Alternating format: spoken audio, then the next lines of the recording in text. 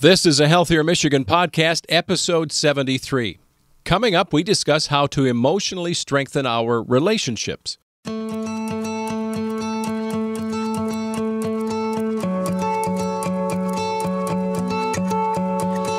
Welcome to a Healthier Michigan podcast. This is a podcast dedicated to navigating how we can improve our health and well being through small, healthy habits we can start implementing right now. And especially into a new year, it is time to get going, huh? I'm your host, Chuck Gaidica.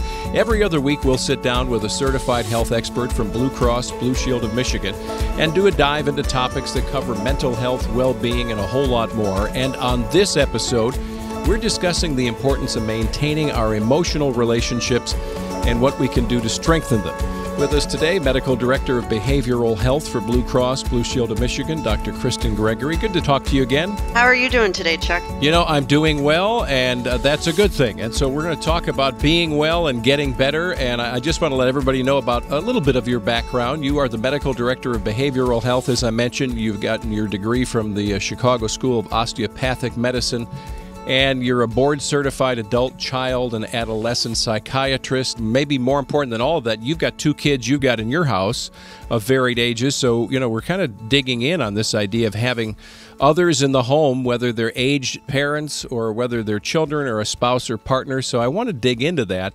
Uh, but, you know, here we are. I mean, it, it is coming up on about a year in terms of how long we've been navigating this pandemic, and there has been tremendous emotional fatigue across the board. For some, they haven't noticed a difference in that, you know, they've jumped right in to being at home and working from home and doing Zoom, and for others, there are all kinds of, uh, I guess, stressors yeah, I always wanted to work at home until I actually did.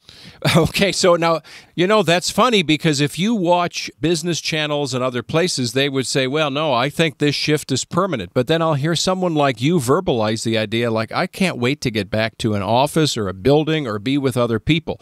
Is that part of what you're talking about? Yeah, I think that the idea of, you know, being able to work from home and have that freedom was appealing until it was your future reality and the unchanging factor of that and all the things that go along with working from home while everybody else is also working or going to school from home was maybe not everything it was chalked up to be. yeah, well, and you know, it's so different for so many different families. I mean, my wife Susan and I have five kids, and we look back and we think, well, we know we did it. I mean, they're all adults now, but we sometimes wonder, how did we even go to Disney World or something, you know, with five kids? Yeah. And now I look at, for instance, my son and daughter in law with a five year old and a three year old, individually the adults are trying to do zoom and, and, they're both working thank goodness and the girls are running around and one is on you know virtual kindergarten and the other is a three-year-old there you go and you know two dogs and two cats and holy cow. And i just look at that i think oh i mean it sounds like it's most of the time it's a it's a blessing that you're able to be with your kids but like you say these are added stressors all by themselves. Yeah. Every time i'm in a zoom meeting and I see somebody's child run in the background, or yeah. I see their dog run through or their dog bark. I think it kind of leads to what we're talking about today because it shows reality. It's not somebody behind a desk. Mm-hmm. It shows the emotional and the human part of people. And I like that aspect. Yeah, I actually, to be fair, I've kind of enjoyed the occasional time where I'm speaking to a stranger, you know, customer service rep, and you can tell they took the call at home because the dog barks or the, excuse me, wait, the baby's crying, right? And you just have to be, I'm sure somebody's gotten snarky about that, but I think, well, this is just real life. I mean, cut them a break. It's just. Yeah, it's human. Yeah. So while that's something we can take into account, it's just human. And we hope the people on the other side of this equation are extending us some grace because goodness knows I'm not the most perfect person around either. How is this time? that we're going through and have gone through strained relationships, whether it's because we're all trying to work and play from home or otherwise. What are you seeing and hearing, even from people you talk to professionally? I think, you know, it's affecting us on a couple different levels. The first would be that there's a lot of togetherness. So the people outside of our home, there's an absence and a lot of times of the physical togetherness. So we've had to negotiate how to gain an emotional connection with people when we can't uh, interact with them physically, which is what we're used to as humans, having that physical proximity connection as well as the emotional connection. And so it's a tie between having too much connection in some cases in some of our relationships and not enough in others and kind of striking that balance which is difficult i mean it's difficult for everybody i think yeah, and the relationships in a household may be beyond what we would call traditional, right? It could be that you've got a, a, grandparent that's living with you, and you're maybe a caregiver, or you've got others that have. Uh, I, I know within my extended family, someone has not adopted, but sort of brought in a 14 year old girl into the mix with their own two children. Well, that's a whole new dynamic. That child isn't their own biologically, and yet this is now part of the universe within their household. They're having to navigate. So, right. when we think of this emotional connection to others in your family, it may go well beyond the kids you have with you, right? Yeah, when you're spending 24 7 with folks over a 10 month period, things get real. Mm-hmm. It's like the real world. yeah. So here we are. We've been told you know, over the past year or so that we need to be physically distanced from each other. It's it's protecting us and giving us better health.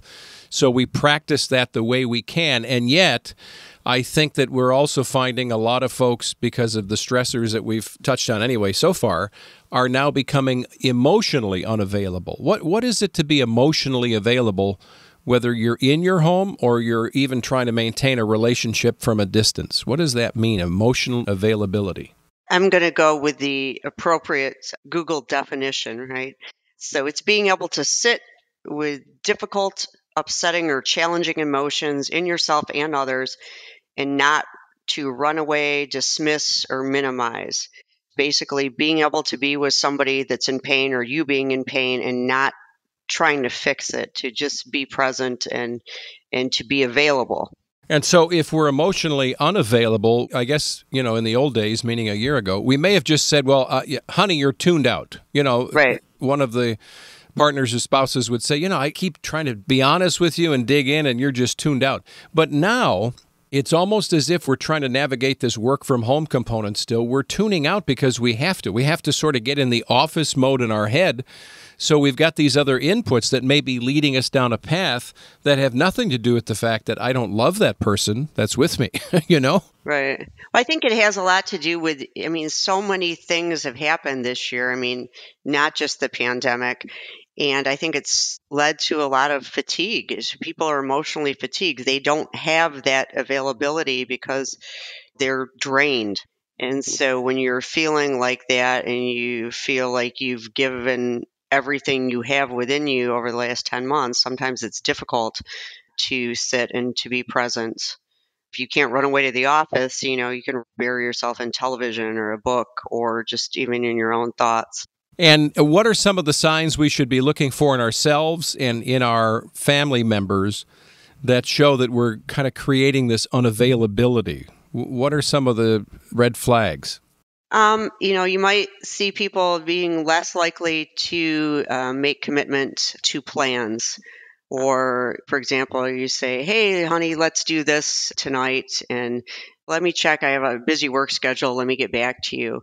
And sometimes, if they do agree to do something, we might see people, you know, wanting to call the shots or one person or relationship feeling like they're doing all the work. That would be one of the big things. If you feel like you're doing all the work and you're not growing closer, but you feel like there's a widening gap in your relationship. And that alone can be a stressor too. I mean, you know, can you imagine? I'm so thankful that, you know, my wife and I are navigating in the house kind of by ourselves. We're basically empty nesters, short of when we've had a grandchild come over or something, you know, that we've been able to help with school. But the reality is that when it's just two of you, or maybe you're leading this long distance relationship, the idea that you're not being present with somebody and you're actually in the same house, maybe in the maybe before you had an excuse, I'm at the office, I don't know, you know, but now you don't really have an excuse, and if you're unplugged from that connectivity that can be a stressor all by itself. Right. And, and, you know, people read into that and they see it. And it doesn't even just have to be with your relationship, it can be with your kids too. Yeah. You know, sometimes I'll have to really redirect myself and, and almost repeat what I hear my daughter says because maybe I'm working or I'm in the middle of something and she has definitely talked to me and, and told me what she's doing, but it didn't go all the way in. I heard the words, but they didn't go into the part of my brain where they, you know, became what's going on. So then I have to say, I'm sorry. Hey, could you repeat that? And then really look at her and be present for what she's saying. Uh, half jokingly and half not, my wife knows. I've told her this directly, and I think that's part of the communication, the two way communication. That when she is saying, I, have got a floodgate in my head, right? And sometimes I just leave it open and, you know, stuff is flying through there. And until she said, I need you to hear this because we're going out to do blah, blah, blah. And I have to close that, she'll say, listen. And I close the gate and I look right at her. And I think that's kind of what you're saying. Yeah. I'm not being disrespectful, but I'm asking her to help me to understand you've just raised this to the level of importance where I really need to know what you're telling me because I have to put it in the calendar on my iPhone, you know? Is that her trigger word for you? Is I need you to hear me? Or something like that. And it, to me, I don't take it. I don't take it as impersonal or snarky because I've actually been in on the conversation to say you need to let me know when to close the gate because I'm on the laptop. I'm doing this. I'm thinking, whatever I'm doing. Right. I need you to help me understand that this is important to you. So that means it really should be important to me. And and it's worked for us. I don't know that it works for everybody, but I like that. It's using an I word in her part, right? So she's using an I statement. Mm. She's not saying you, but she saying an I statement. I need you to hear me. And here is different than you need to listen to me. Here, I guess, would signify to me at least that it's more of a mutual thing as opposed to listen. I have to tell her. I'm going to give her a big hug and let her know we're doing it right. I'm going to steal it. All right. So if if we feel like somebody in the household, and again, it could be extended family, is being emotionally unavailable, you've talked about some of the signs. What do we do? Do we literally say, I need to sit down and talk to you about this? Is that the first step to refire the connection that should be important in our lives? Yeah, I think you have to speak your truth. What are you feeling? And the trick, though, is to do it not in a threatening manner. Um, and that's what I think was so great about what your wife is saying. I need you to hear me. So she's using the I statements. You know, another example would be I feel lonely when you're at work and we're not sharing an emotional connection. So it's not mm-hmm. saying you're neglecting me. So any you statement, obviously, people turn off to because then they feel like they're assigned some higher degree of blame. Whereas what you're really trying to do is work on communication issues because everything is about communication, emotional availability, emotional unavailability, emotional intimacy is all communication. And so speaking your truth in a non threatening, non judgmental manner. It would be the first step. And then focus on being real, not right. Developing that intimacy and that availability is about being okay to speak your feelings to somebody else. And really, it's a very powerful thing to tell somebody your emotional state. If you don't believe me, try it one time to tell somebody actually how you're feeling.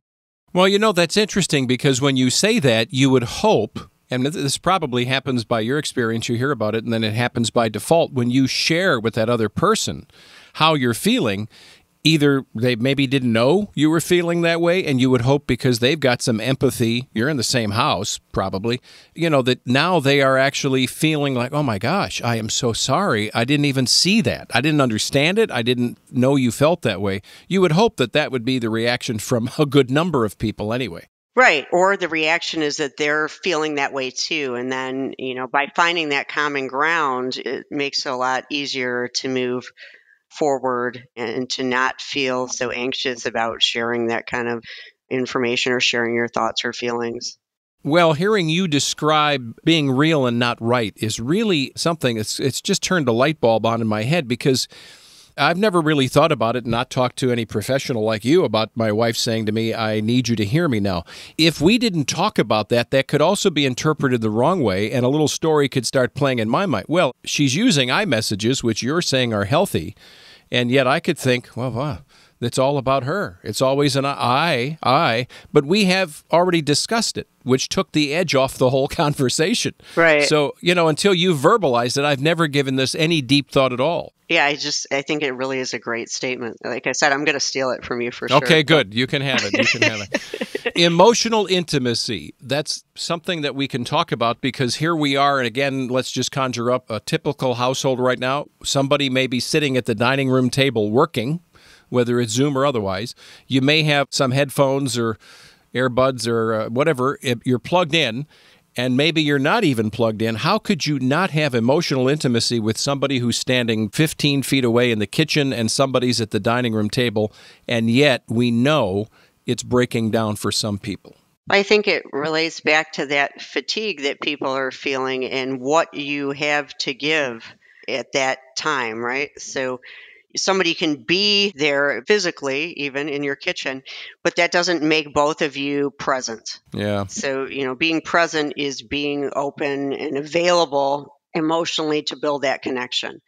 People cannot do a million things at once. I think we could probably only do one maybe two. I can't even walk and chew gum. So being focused on what is going on at the moment and really working on that mindfulness and being present and being empathetic on how somebody might feel or why somebody might feel that way. Yeah. Instead of focused in your own thoughts, which is hard now because there's a lot of emotional fatigue and people are focused in their own thoughts a lot. Well, in a lot of these episodes, we talk about quick ideas or hacks, you know, shortcuts to to doing something. When it comes to emotional intimacy, do you have any specific suggestions? Like if you're both working from home, is lunchtime a time to sit down and actually connect and just unplug? Or should I sit down and, you know, it, it kind of leads into mindfulness that I'm being present with myself, but I should be present with my spouse or somebody in the family that's in the house or even on a Zoom call. What what are some of the tricks that we can build emotional intimacy even in a typical day? I think setting time is important. Um, it doesn't necessarily need to be lunch. It doesn't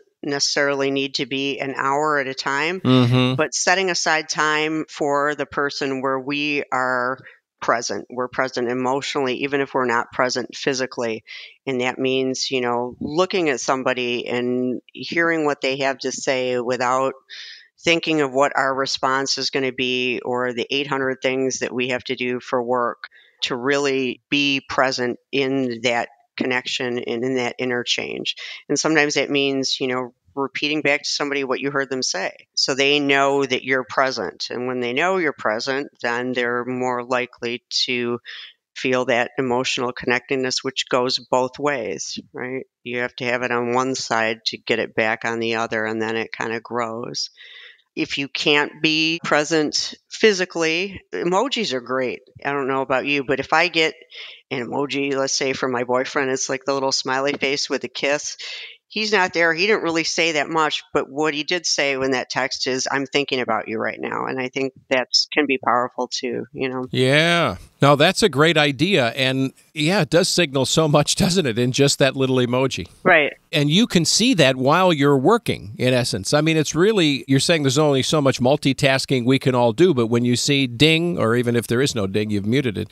That's really cool to think about. That that alone is kind of like sending the dozen roses without the flowers, you know. Right. I try to do that with my kids too, even throughout the day. My daughter's here at school, but I will send her a text a couple times a day. So I'm not disturbing her when she's trying to learn in school, but you know, it'll be like a heart or I love you or I'll do a funny dog picture because she likes dogs and she does it back. So then we're getting that connection. So I think that that's one of the ways we can do it virtually. And you know, I have discovered, and I'm not reinventing the wheel here. I'm sure there are a lot of people that are listening, and you see this too in your practice and otherwise. Asking my wife, What can I do to help you? You've never, I shouldn't say you, I've never thought that some of the things that she does, I can be helpful with. And now that we're both working closer together more often, I found that by asking her, well, whether it's heavy lifting or other, what can I do to help you? And that alone has helped us with this emotional intimacy because there's a give and take now, and I'm starting to understand better where she needs some help. So now it's just second nature. I just do it. I mean, it's just been a really great way for us anyway to strengthen something that may have been a breaking point before. Right. Instead of having a honey-do list and, and looking at it negatively, you know, you're looking at what you can do to help, or like you said, just do it. Yeah. Now, throughout this conversation, we've had a couple threads, maybe it's just one thread stress and strain. You know, that in this time for many people, this has led to issues with relationships and those who may live in the house or maybe be at a distance. What can we be doing to cut back on stress and strain so it opens us up or gives us more capacity to be emotionally present and available? Right. So the strain that it can cause on relationships sometimes can be difficult because we have all this stuff going on in our head. And so being in your own head and not letting others know what's going on can be detrimental. So, communicating this is what's going on, and I'm not meaning to do this, however, and really taking responsibility for you and working towards a more positive outcome the next time. And maybe it means that you have to go out and take a walk or walk the dog or do 10 jumping jacks. Usually that's what I, my silly thing that I do when I start getting. Is it really? Yeah. Yeah. I, I do jumping jacks.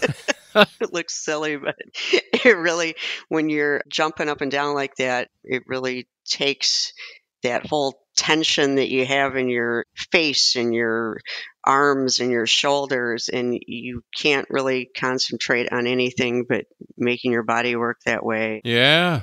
But you know, and it can be so different for every person, right? I remember I don't remember which podcast, what is we're up to 73 episodes now, but one of the previous podcasts somebody said they get tense before they walk into a meeting at work. This is well before the, you know, pandemic.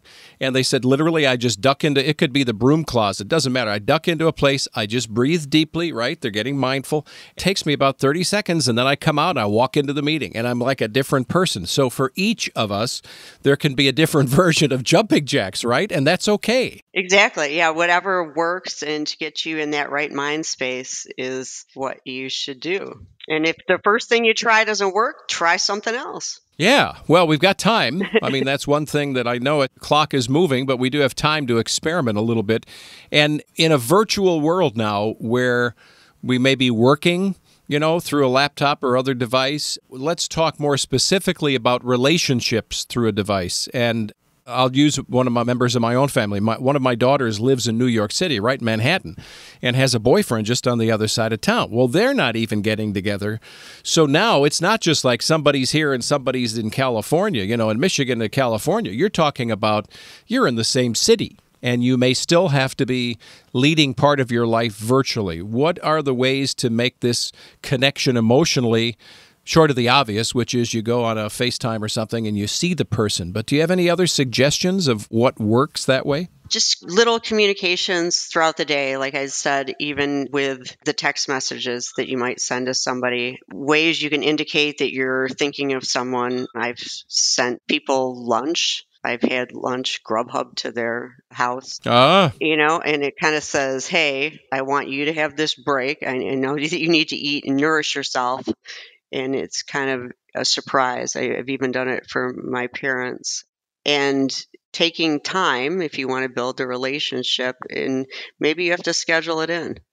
You know, maybe you have to schedule in a reminder to text or to call or to send somebody a funny video or a meme or do something special for them or have something special sent to them. Yeah, that's good. And I, I guess that I also have a default because I spent a lifetime not just working in radio and now podcasts, which were both audio oriented, but also visual, you know, through television. So when I see calls, Zoom calls or otherwise, it astounds me that we still haven't figured out that we need to practice some of the same things we do when we're in person. Like if I lean in on a call, on a Zoom call where I'm there on video, and I, you know, I hold my head in my hands and I listen, that visible signal is sending to somebody on the other side, well, I'm present, right? Because I've also been with people who I'm talking to even if it's just chatter about family or just busy stuff.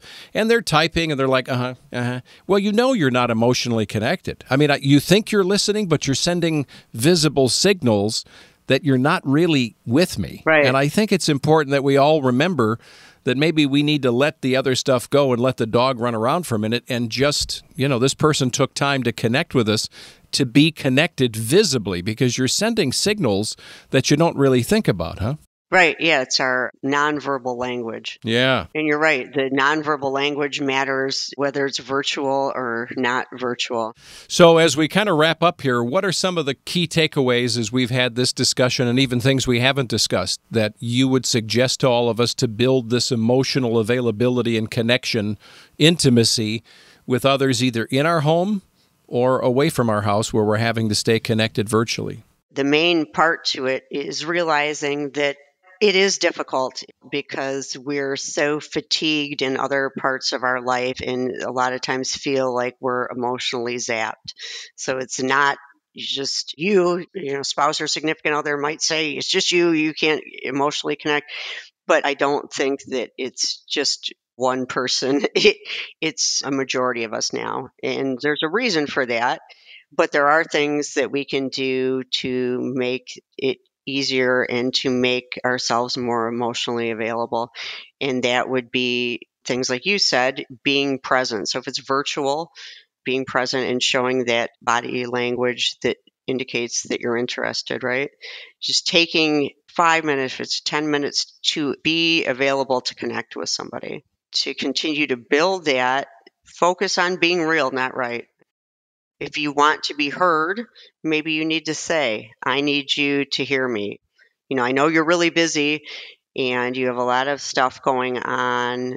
I was hoping we could not be distracted for the next five minutes and really connect so you can hear what I'm going to say because it's important. And continue to practice mindfulness, you know, be empathetic look at how other people might feel. I think empathy is such an important thing.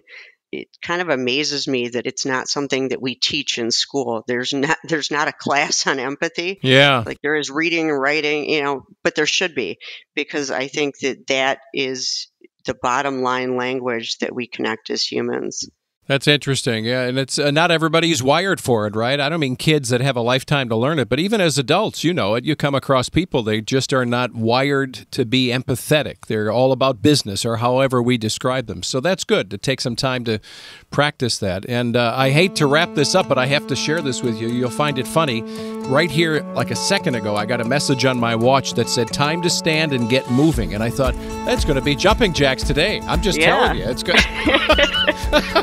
I just got it on my watch. So there you go. Dr. Gregory, it's always a joy to talk to you. Thanks for your input and your help today.